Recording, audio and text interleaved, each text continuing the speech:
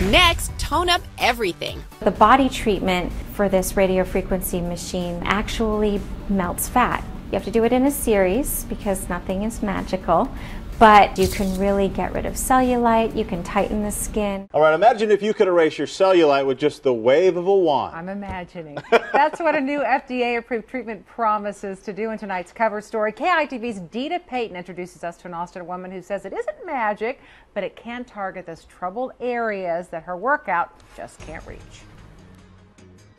There are certain parts of your body that I don't care what you do, especially genetically, if you have it, you're going to have cellulite. Billy Sudbrack works out six days a week, but still sees small ripples of fat on her hips and thighs. And I think as a woman, I focus on those areas. So Billy turned to Dr. Jennifer Walden, a plastic surgeon in Austin, but told her she did not want to go under the knife. Non invasive fat reduction and skin tightening technology is really a boom right now.